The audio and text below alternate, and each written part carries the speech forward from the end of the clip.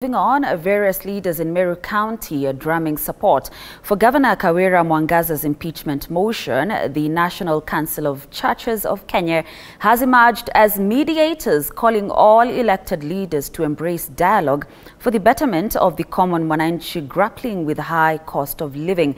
A total of 27 members of Meru County Assembly have already signed an impeachment resolution to remove the governor in less than a month. Mike Kagwango with the details hospitals.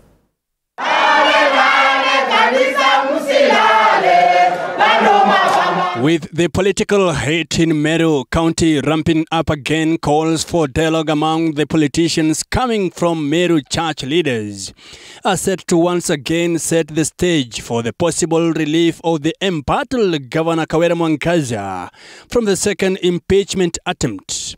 This after Deputy President Rigathi Gachagua successfully intervened in the first encounter earlier this year.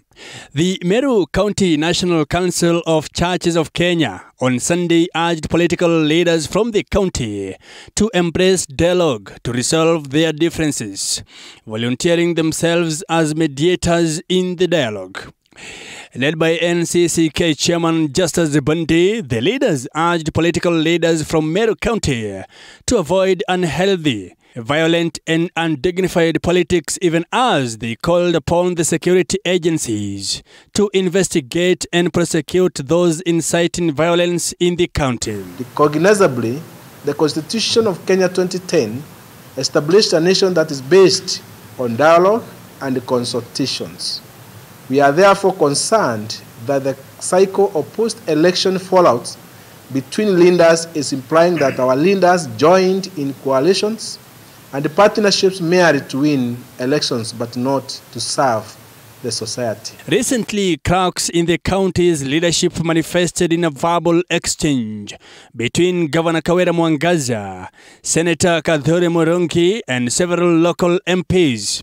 Since then, the conflict has gotten worse, resulting in Governor Mwangaza's bitter dispute with her deputy Isaac Mutuma, whom she claims is conspiring with other leaders to bring down her administration. It is disturbing to see that political leaders in our county are engaging in actions and verbal exchanges that threaten peace and well-being of the people of Meru County.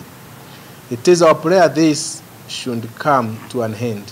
Following a violent clash between supporters of Mwangaza and those in league with her deputy last Sunday at the Governor's Okolea charity function in Igembe South, Cabinet Secretary for Interior Kithure Kindiki banned further events of the outreach program.